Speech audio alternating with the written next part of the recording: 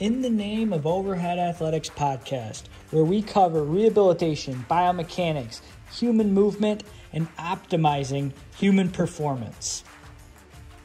Hey, welcome back to Overhead Athletics. I'm Dr. Max Wardell, and today we're going to talk about some of the research that's come out in 2022, specifically around throwing mechanics and accuracy, as well as rehabilitation. We've had some interesting studies come out in January, and we'd like to do some more videos on research reviews if you guys are interested. So if you are, let me know in the comment section. Hit the thumbs up on this video, and we're just going to roll through a few studies here. We've also had some studies come out. We won't cover everything that's come out um, thus far in January 2022, but we'll cover some of the most interesting stuff. In that vein, I would like to, I'd really like to keep doing this stuff. So if you guys are interested, um, let me know. And basically, what we've done here is just compiled four different studies we'll talk about and some of the key points. One of the most interesting ones was uh, pitching mechanics and the relationship to accuracy in professional baseball pitchers. This was a study that just came out.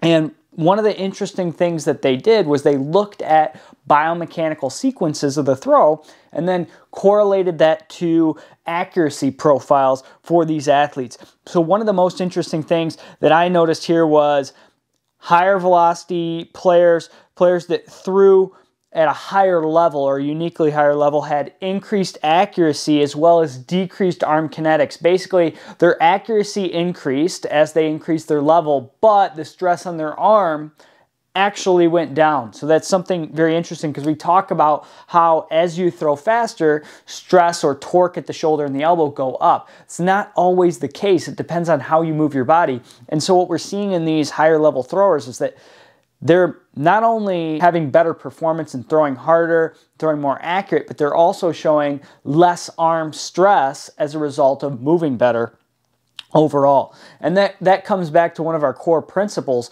which we've talked about. And it's really something that we've kind of looked at from Frans Bosch, who's from Europe.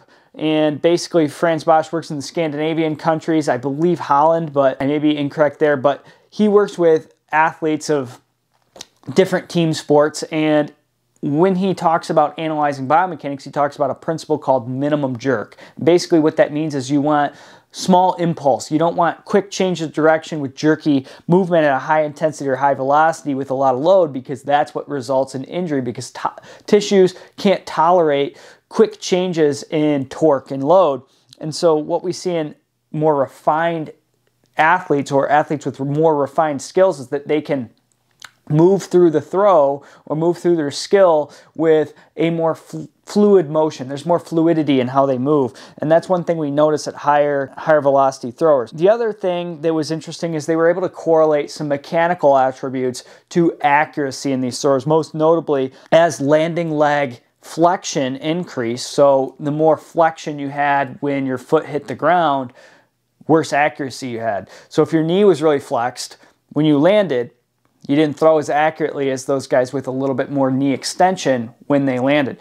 Um, and we've seen this argument many times online that mechanics don't matter for accuracy. I really like Dustin Peace. I had him on my podcast, but he always says mechanics don't don't matter for accuracy. He's right to an extent because there is an ability to be able to throw accurately with obscure or inefficient mechanics. But the more mechanically efficient you are, the less you fatigue as a result of operating at the same intensity, the more you're going to be able to throw for a better strike percentage for a long, prolonged period of time. But also, the more moving parts you have, the more things that you have to control. So the more that you can simplify the movement, the easier it is to complete. The easier it is to complete, the more that we can control our outcome.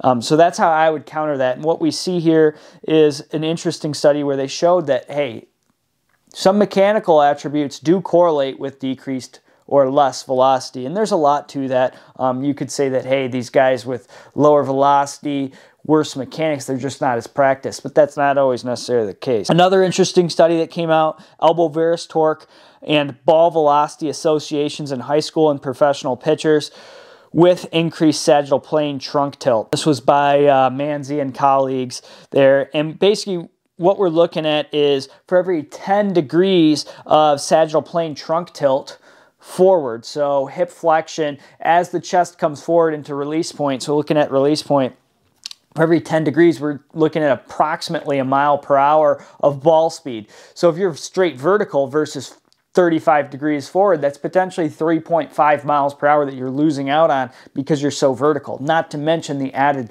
loads to the shoulder and the elbow that are a result of that. So that was another interesting one. Differences in shoulder internal rotation strength between baseball players with UCL reconstruction and healthy controls. So looking at these guys that have had a reconstruction of their ulnar collateral ligament Tommy John surgery compared to athletes that are healthy, and we're looking at their internal rotation. And this was by uh, Kennedy uh, et al. And what we've seen is that athletes who threw for a period of time will either develop attenuation of a ligament, attenuation of a muscle, tendon, whatever it is, as a result of poor mechanical efficiency, and then they've gone into a rehabilitation protocol after a surgery or after this injury, and then usually they return back to throwing in the same way they did before their injury. So that's one aspect that we can correct, but then we also need to think were they weak that contributed to that injury, or are they weak as a result of being at a rested state or not being able to train internal rotation. So if you have an elbow injury, and I've had a torn UCL, if you have a torn UCL, you know that you can't apply this backward outward bending motion, this valgus motion.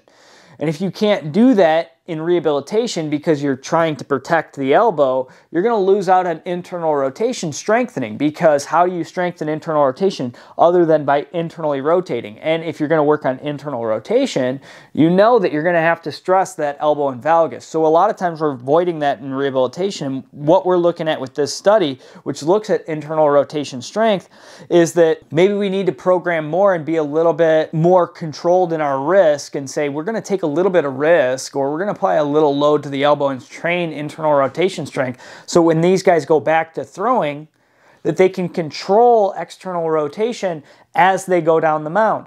Because if they can't control this, if like they go into throw and they can't control that external rotation because their internal rotators are weak, then they're going to be likely or at an increased risk for another injury. So they have to be able to control external rotation with the internal rotators. And that means that we have to train that in rehabilitation. So whether they were weak prior to the injury or they're a week as a result of we avoid that training in rehabilitation regardless. We got to start implementing that and we got to be very strategic about how we do that. So i want to put out some videos here soon on, on how we can start to train that internal rotation strength safely in someone who can't tolerate valgus and that's done by pre-positioning the elbow and a bunch of different things. Another really interesting one because i hear this all the time is the contribution of posterior capsule hypertrophy to soft tissue glenohumeral internal rotation deficit in healthy pitchers by Paul et al. We've seen this narrative played out a bunch of times. Originally, it was internal rotation is lost as a result of posterior capsule hypertrophy, thickening, and stiffening.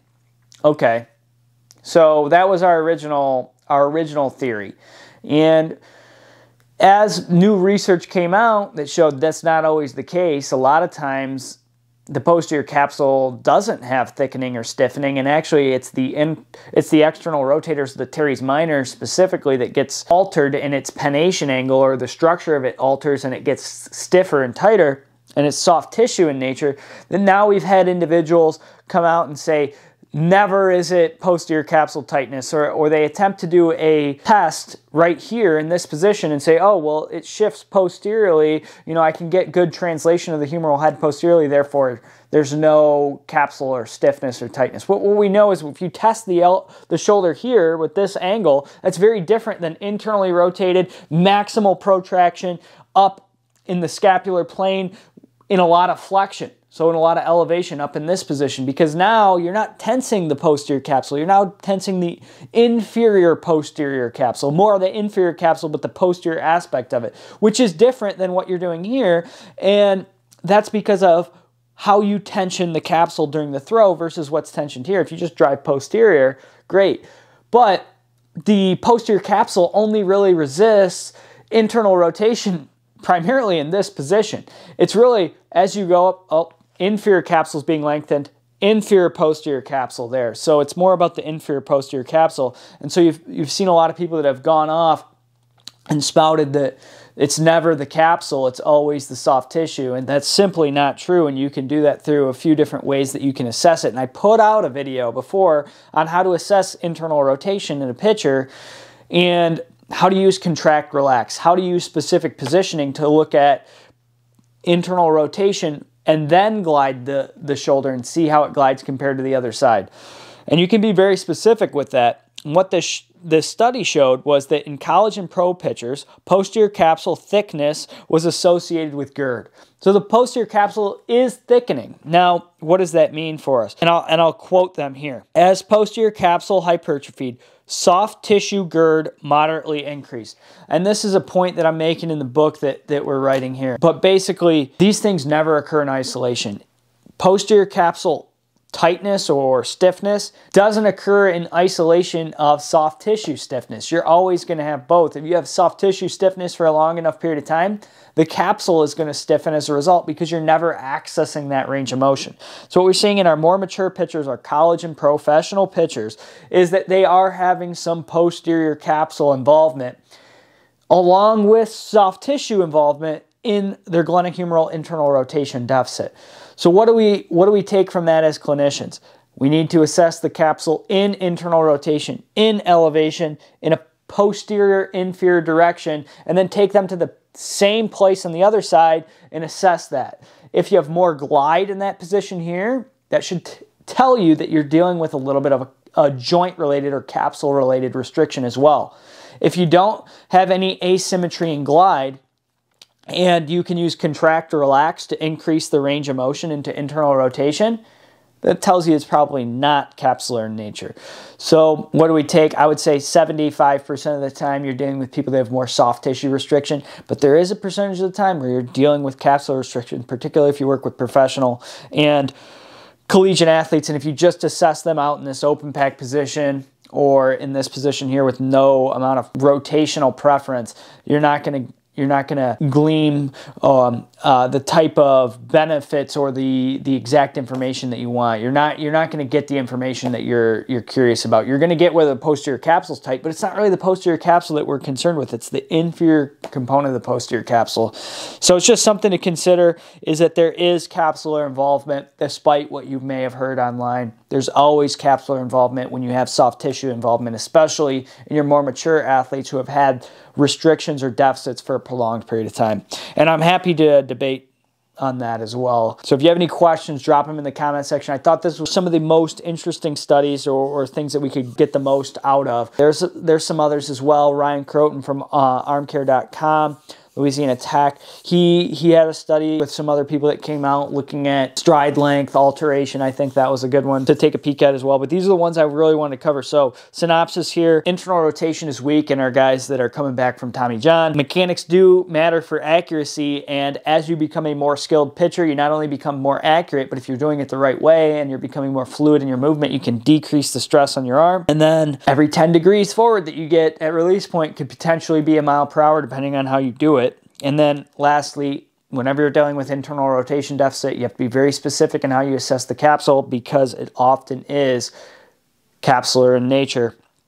And that's always a component of it. So, nice little study we see here showing some of that. And, you know, like I said, I'm happy to debate that. I am of the camp to believe that about 70, 75% of the individuals who come in, depending on what population you work with, are probably not going to have posterior capsule or inferior capsule restriction. A big component of the restriction, especially if you're working with higher level athletes. If you like this video, let us know in the comment section below because I would like to do more research, videos like this, give the synopsis from my perspective and go through some of this stuff. Let me know. Hit the thumbs up if you like the video. Subscribe so you don't miss the next one. Two videos a week coming at you. We'll see you then.